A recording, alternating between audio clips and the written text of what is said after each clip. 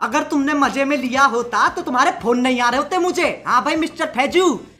फैजू, कैसे कहते हैं? तुम्हारी बुद्धि कौन सी दिशा में चलती है?